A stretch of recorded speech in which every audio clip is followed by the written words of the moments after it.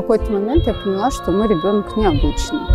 Его голосом поет Бог. Все поют, и я пою. Он мог запросто ну, там, перебить учителя. Вот все, что он думает, он может там, начать петь на уроке или там свистеть.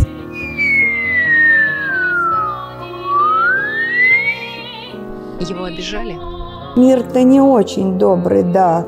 Получается, это случайно произошло? Ну, да.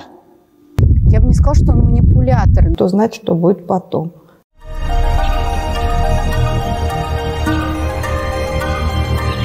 Смотрите программу «Обернитесь» 13 июня в 18.45.